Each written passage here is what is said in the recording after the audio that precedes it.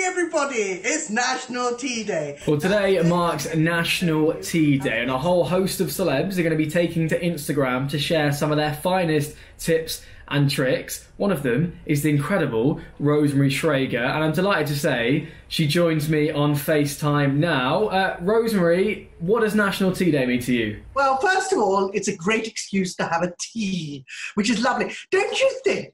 Tea and biscuit and a piece of cake is just the most quintessential British thing to do. And we should never, ever forget that.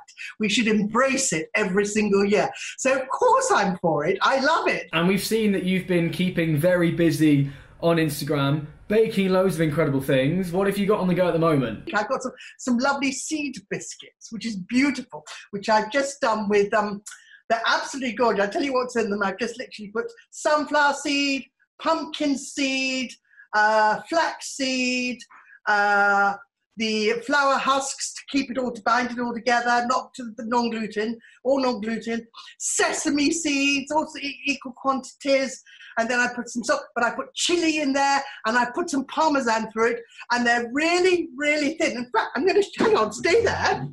I'm going to show you Stay there. Woo! Hang on. I've got, oh.